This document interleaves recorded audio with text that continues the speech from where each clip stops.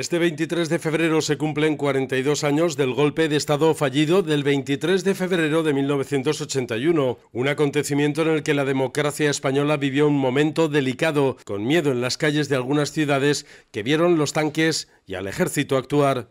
23 de febrero de 2023, hace 42 años del golpe de Estado del 23 de febrero de 1981, cuando un grupo de guardias civiles, comandados por el teniente coronel eh, Tejero, entraron al Congreso de los Diputados con la intención de cambiar el gobierno y el ciclo político de España.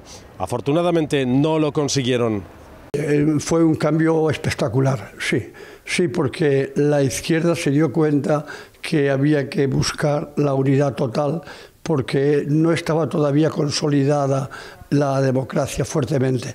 Hoy, 42 años más tarde, aquel acontecimiento queda en la memoria de las personas que lo vivieron a través de los medios de comunicación, que recuerdan los momentos más significativos de aquel golpe de Estado fallido. Bastante susto y preocupación, porque como no sabías que había, que no había, que podía haber o que no, no podía haber, hasta que se aclaró todo un poquito, sí que se pasó un poco mal, sí. Llegó el 23F